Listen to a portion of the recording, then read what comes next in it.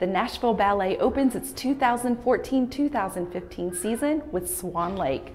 Join me as we learn more about this classic yet challenging ballet on this week's Arts Break. When you think of ballerinas, you think of all these, you know, hundreds of women in white, and this is pretty much it. I'm actually even surprised at how much this ballet that was choreographed in the 1890s still has the power to touch people and touch them in a really strong way. I play both Odette and Odile, which is the Swan Queen, and then her evil twin in third act.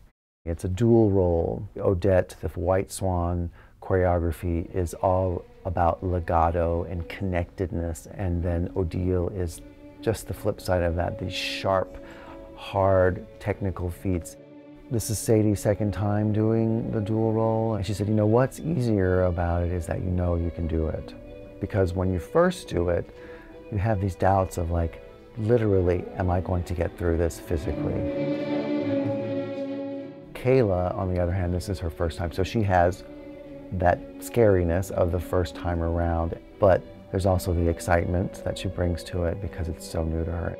This role is absolutely a dream come true. It's it's something that I knew was on my bucket list of roles that I wanted to do as a as a dancer in my career, but with that I think comes a lot of personal pressure that you add on yourself.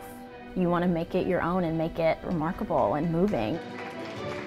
The mental preparation for this, for me, started the day that I found out I was going to be doing this role. It's a very, very stamina-driven role. I'm definitely more of a legato dancer myself, and I knew coming into this, Act 3 requires something so different when you're Odile. But it makes more sense because it's coming from a place of character development, not just forcing your body to do something that's not natural. So it becomes more, more natural to do it that way. So I've really kind of let my idea of Odile take over my body as opposed to trying to do it the other way. It's a very important ballet, I think, for the art as a whole. You know, so many young girls dream of being ballet dancers, and so a few of us actually become them, but I think among the women that are doing this professionally, Odette Odile is one of those roles that you really aspire to, that you dream about in the course of your professional career. It's just so beautiful, the, the fusion of music and dance and theater and romanticism. It's just such a powerful, powerful experience. Performances of Nashville Ballet's Swan Lake runs October 17th through 19th at TPAC's Jackson Hall. For more information, visit us online at wnpt.org/arts.